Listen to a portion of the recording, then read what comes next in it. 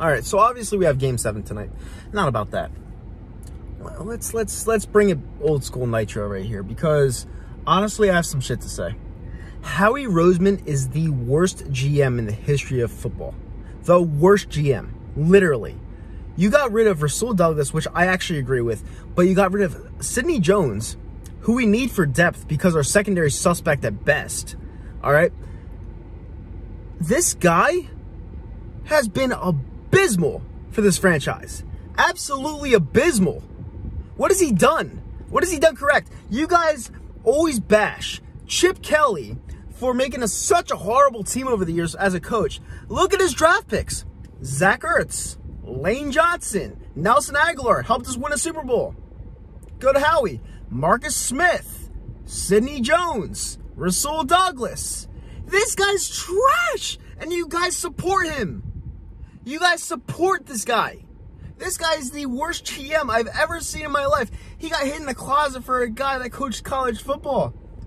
The guy had no GM experience whatsoever, and I'm talking about Chip Kelly. He had no GM experience whatsoever. He got put in the closet for this guy. Why did we bring this guy back? Why? And then he gets all the credit for the Super Bowl? No. As far as as far as I know, Chip Kelly is the GM that takes responsibility for that Super Bowl. He's the GM that takes responsibility for that Super Bowl, not Howie Roseman. Howie Roseman is the worst GM in the history of sports. Literally. You got rid of two cornerbacks. I didn't really like Rasul Douglas, but you got rid of two cornerbacks when we when we're depleted at that position. You have Darius Slay, who you're overpaid for. I get it. We needed to make that move. Okay, fine. You get rid of two cornerbacks when we barely have anyone.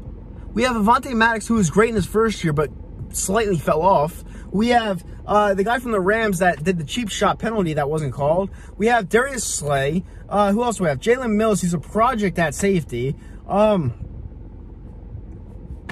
dude, we are fucked.